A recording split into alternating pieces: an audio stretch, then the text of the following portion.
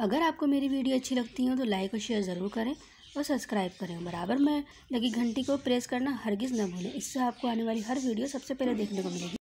बसमीम अस्सलाम वालेकुम viewers welcome back to my YouTube channel cooking time with Noor तो चलें, चलते हैं रेसिपी की तरफ़, जो बनने जा रहा है, बैंगन का रायता।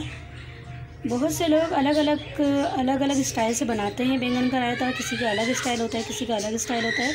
तो चलें, जिस स्टाइल से हम लोग बनाते हैं अपने घर में, और बहुत यमी सा हमारे घर में बनता है रायता तो सर्दी गर्मी हम हर हर हर हर सीज़न में खाते हैं।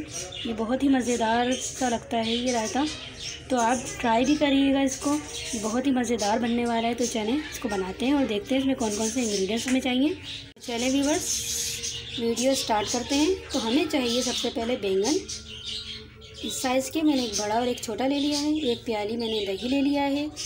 नमक ले लिया है। होममेड चाट मसाला ले लिया है। ये काली मिर्च का पाउडर ले लिया है। और ये चाहिए हमें भगार के लिए। जो मैंने ले लिया ज़ीरा, साबुत मिर्च और लहसुन।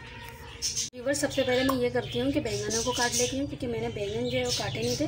इस वजह से कि बैंगन जो है वो ख़राब हो जाते हैं, काले हो जाते हैं। तो मैं ये आपके सामने ही कटिंग कर लेती हूँ कि हमें कितना मोटा चाहिए कितना बारीक तो ज़्यादा मोटा नहीं रखूँगी मैं, क्योंकि रायते में ज़्यादा मोटे मोटे अच्छे नहीं लगते। ये देखिए, इस तरह बस। ये देखिए। इसकी थिकनेस देखें।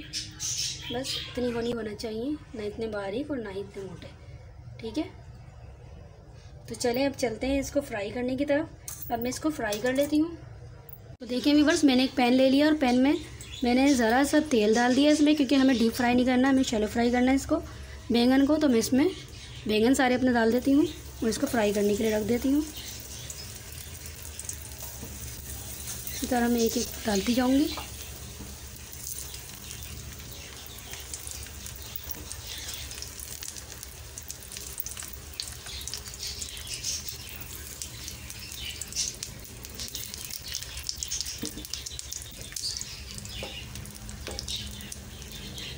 अपनी ग्रीन चटनी को जो है ब्लेंडर में डाल के पीस लेती हूँ।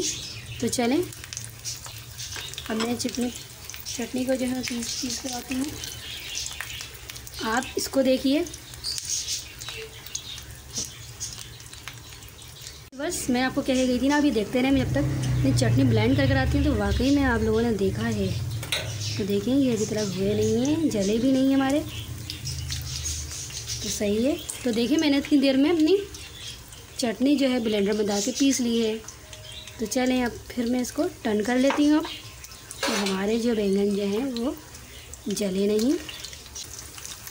और अच्छा सा गोल्डन सा कलर आ जाए इसमें। बस, बहुत अच्छा सा कलर कुछ कुछ में आ चुका है तो मैं निकाल लेती हूँ।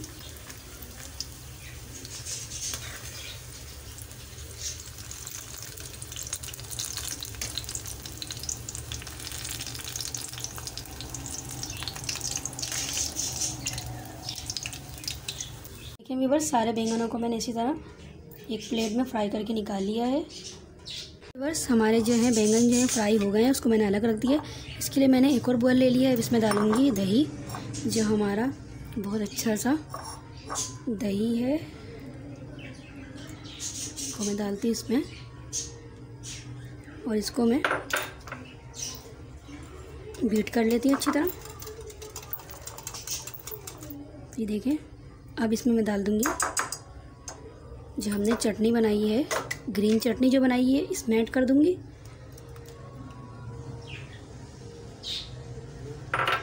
इसको भी अच्छे से मिक्स करूँगी इससे। तो ये देख सकते हैं कितना खूबसूरत सा कलर लग रहा है इसका। देख रहे हैं?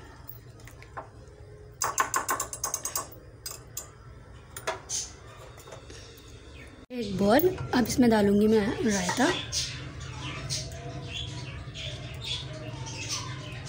तो बचा लेती हूँ। अब मैं डालूँगी इसमें। तो देख सकते हैं, मैंने इस तरह फैला दिया सारा। अब मैं इसके ऊपर ऐसा करती हूँ, थोड़े से निकाल लेती हूँ इसमें से कि ऊपर से भी ज़रा गार्निशिंग के लिए अच्छे लगेंगे। तो इसके ऊपर मैं डाल देती हूँ एक दफ़ा और रायता।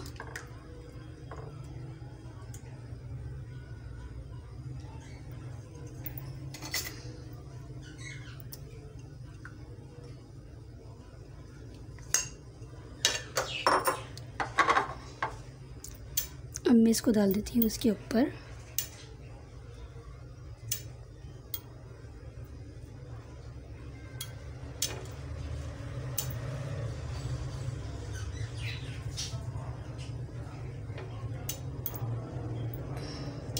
और इसको सर्व करेंगे हम ज़ीरे वाले चावल के साथ। तो ये बना के आप ज़रूर ट्राई करिएगा कि आपको कैसी लगी है रेसिपी मेरी।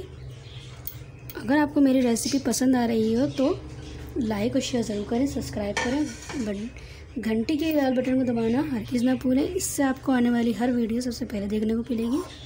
तो चलें अब मैं करती हूँ ऐसा कि इसको, ये हमारा हो गया है रेडी अब हम कर लेते हैं फ्राई की तरफ़ चलते हैं।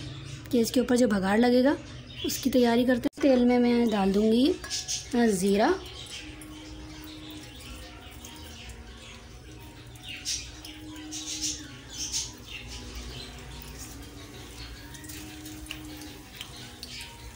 लहसुन चॉप किया हुआ, साबुत मिर्च,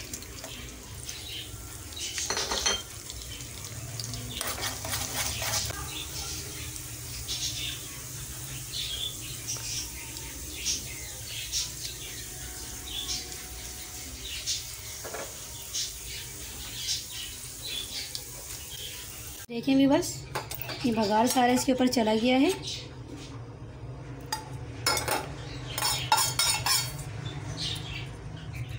ये देखें कितना खूबसूरत लग रहा है। अब मैं इसके ऊपर डाल दूँगी अपना होममेड चाट मसाला, जो घर में बनाया था हमने।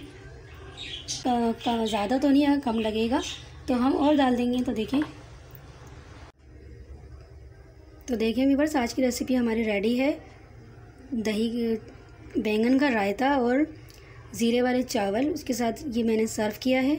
ज़ीरे वाले चावल के साथ तो देखें कैसी लग रही है।